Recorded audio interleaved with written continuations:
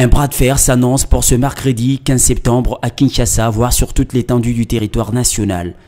L'hôtel de ville a bien pris acte de la tenue de la marche de la Mouka, mais en la renvoyant au 17 septembre prochain. Proposition découlant de la réunion tenue dans la soirée de lundi 13 septembre à l'hôtel de ville de Kinshasa par le gouverneur de la capitale congolaise. Cependant, cette décision est malencontreusement rejetée par les organisateurs de cette manifestation qui maintiennent la date du 15 septembre.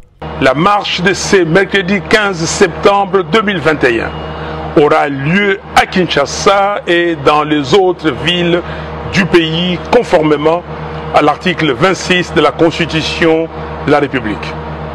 Je rappelle aussi que, sur pied des dispositions de l'article 12 de la Constitution, tous les Congolais sont égaux devant la loi et ont droit à une égale protection des lois.